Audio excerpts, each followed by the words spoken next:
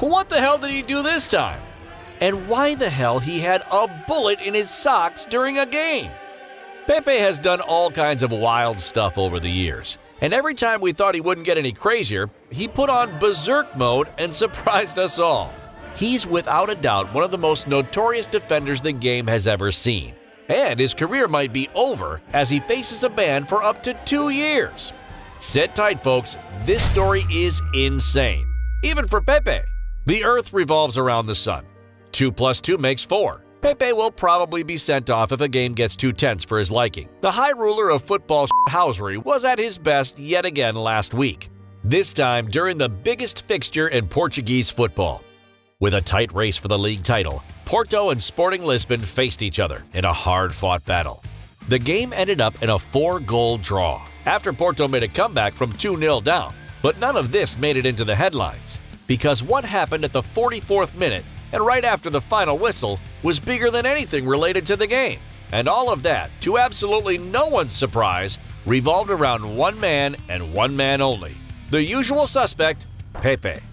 Minutes before the halftime whistle, the referee was surrounded by sporting players as they were trying to make a point about Pepe. The ref, much like everyone else, thought this to be yet another dark art performed by the veteran, like kicking an opponent while no one was looking, spitting on someone, headbutting another, stamping, you know, the usual stuff. But this was something even more outrageous.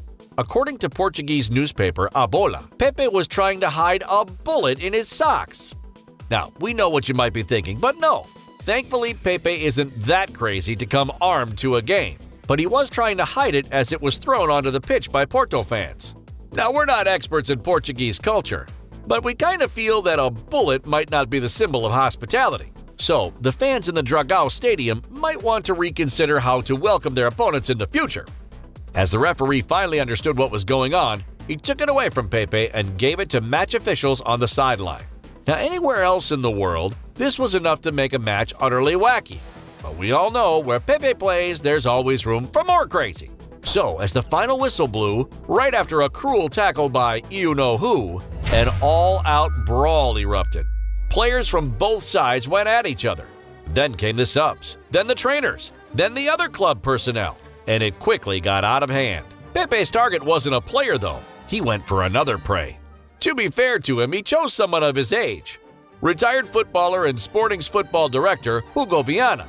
The clash of two 39 year olds was rather quick, as Pepe kicked Viana right before the referee's eyes, who ended up sending off the veteran. This wasn't the only red card of the night, though.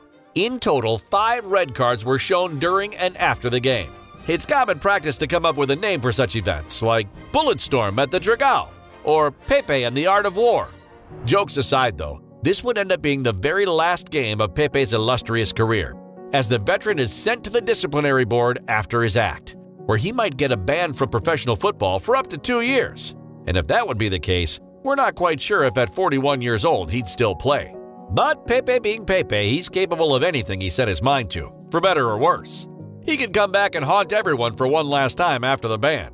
Who knows? With that, we're wrapping this up. Don't forget to tell us what you think about Pepe and the bullet in his socks. We'd be surprised, but if you want to see more Pepe madness, check out this video for a journey into the career of the dirtiest player of all time. Thanks for watching.